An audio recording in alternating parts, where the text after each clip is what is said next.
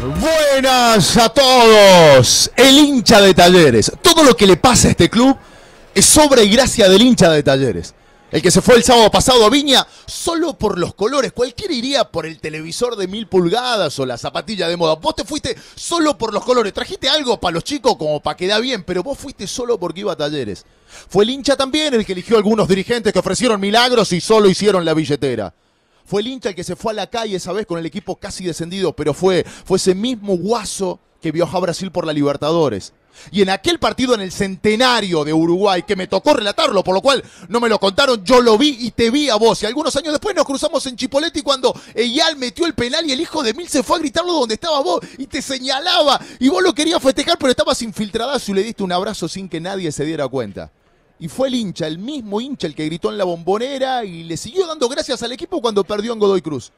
El hincha de Talleres fue el que soportó que muchos se le burlaran hace cinco años atrás y después tuvieron la cara dureza de decir qué grande Talleres cuando ascendió invicto en la B Nacional y ya está consolidado en primera. El hincha de Talleres puede ponerse furioso contra Gimnasia de Mendoza en una final y puede meter 50.000 socios. El hincha de Talleres confía en Fasi y lo acompaña, pero le pide que le explique qué va a hacer y cómo lo va a hacer. El hincha de Talleres no se olvida de Clusener, de Burgo, de Cachocial, del polaco Yanuncio, de Barrio Nuevo, de Francia, de Pipe, de los chicos que iban a Junín. Y eran criaturas, pero seguro si hubieran podido elegir su partido hubiesen querido irse cerca de Talleres. Al hincha de Talleres la vida lo hizo fuerte. Como te pasó a vos, a mí, a cualquiera en la vida, que tuviste un laburo que en los 90 cerró y la pasaste mal, pero fue tu señora, tu vieja, los que se arremangaron y la pelearon con vos. Y te fuiste a trabajar con tu cuñado que te hizo la gamba. Y él no precisaba empleado, pero por lo menos te ayudaba para que tus chicos tengan algo en el plato. Y lloraste mil veces en la pieza solo. Porque no podía llevar a tu familia ni siquiera un fin de la sierra. Era consolarse todo lo verano abajo de la manguera. Y de pronto te salió un laburo mejor y ya te pudiste acomodar y te fuiste con la familia a una cabañita en Tanti y te metiste en la cuota de la casa. Y no te olvidás de los que estuvieron cerca. Por eso hoy podés invitarlos a comer un asado de tu casa y sentís orgullo por tu lucha y por los que estuvieron con vos en la misma causa. Y con talleres es así.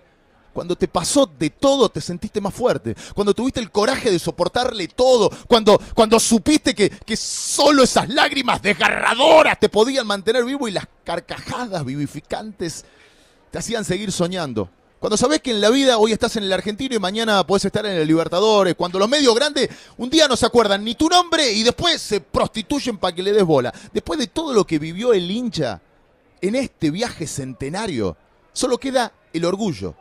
Porque tu viejo está convencido que como aquellos talleres no había. Y vos le contarás a tus hijos que el equipo de Kudelka en el 2015, más o menos, no sabe cómo jugaba. Y andás a ver de qué talleres te hablará tu pibe dentro de 20 años. Pero vos, tu viejo y el de la próxima generación, los tres, son socios y lo siguen a talleres siempre. En la boutique, en el Kempes. Y capaz que algún día Talleres hace su estadio nuevo o amplía el que está. No se sabe. Y quizás no sean relatos separados, porque es posible que a esta hora vos estés viniendo con tu papá y con tu hijo. Él lo vio a Valencia, vos lo viste a Garay, tu hijo habla de Bebelo, pero a los tres le pasa lo mismo. Y si tu viejo no está porque la muerte lo mandó a llamar, Talleres hace que aunque sea un ratito, en este domingo pueda estar al lado tuyo. Talleres hace que tu viejo resucite. Y obvio que es una alucinación que vos transformás en ilusión. ¿Qué importa si gana un campeonato, si lo pierdes, si donde juega se llama Federal o Superliga? Eso no es nada. Si esta camiseta, estos colores, este domingo hacen el milagro de que tu viejo, aunque sea un minuto más, un instante más, baja para un abrazo, un beso y un vamos, talleres, que quedará en la eternidad. Juega el matador, que sea lo que Dios quiera, y Dios quiera que gane la T.